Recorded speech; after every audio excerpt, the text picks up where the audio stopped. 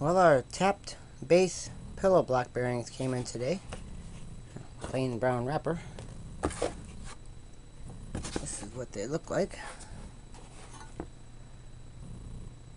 At the tapped base pillow block as opposed to the standard flanged pillow block. See how much smaller of a footprint it has.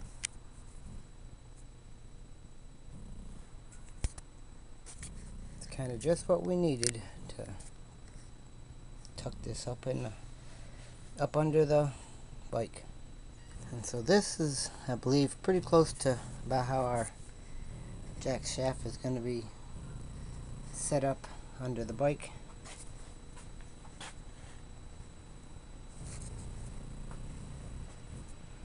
So we'll have the two pillow blocks bolted to this plate and then we'll bolt this plate through this plate through the trailing arm and through the motor mount to lock them all together.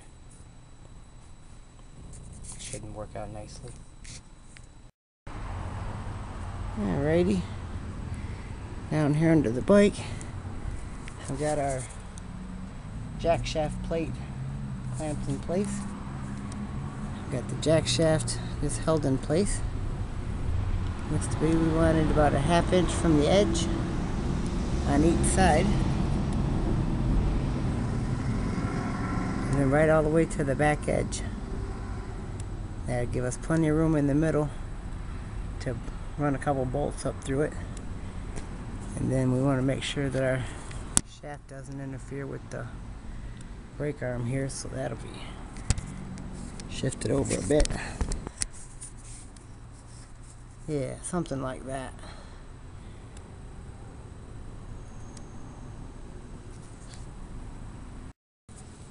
So we're going to want it about like that.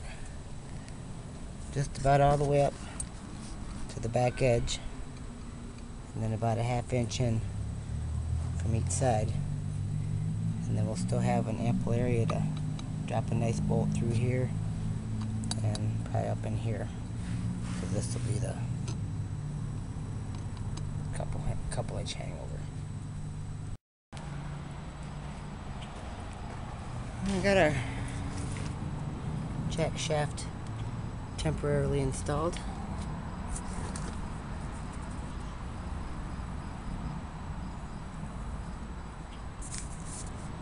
And I also temporarily temporarily routed the chain.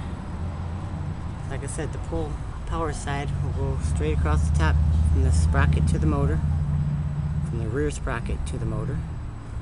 They come down to our jack shaft, and then come back on up to our rear sprocket and do it again.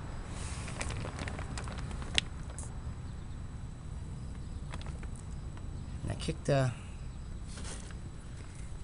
center kick kickstand up here and it clears the jack shaft fine. I'm just not sure about the chain clearance here, but it's very close to the tire, so I would think we should be okay.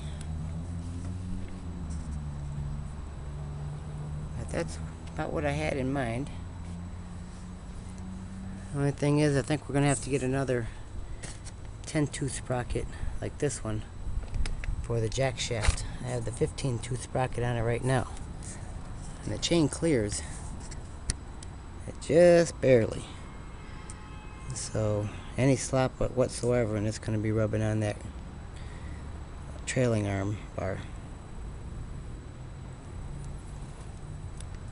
But we go from a sprocket 15 tooth sprocket that large to a 10 tooth sprocket that large. Should change things dramatically.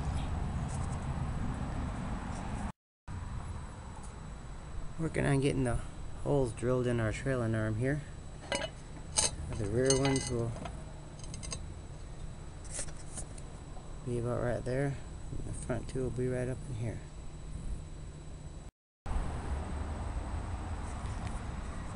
Well, we got the jack shaft mounted. There's the four bolts going through the trailing arm, through the jack shaft plate, and threaded right into both of our pillow blocks. Solid.